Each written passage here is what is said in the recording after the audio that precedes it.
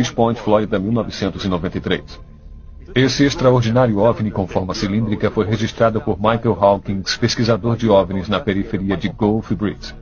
O objeto flutuava sobre a praia, não muito longe da base England da Força Aérea. Eu fiquei realmente assustado. Jamais vi uma coisa assim, nem um aparelho parecido. Talvez fosse um aparelho militar, mas depois de um tempo, comecei a achar que era um objeto alienígena.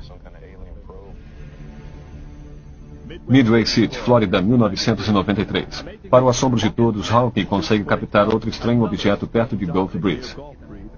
Outras duas pessoas também fazem o registro.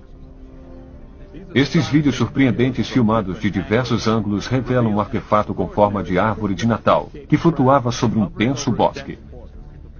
Por momentos, o objeto pareceu emitir uma densa fumaça.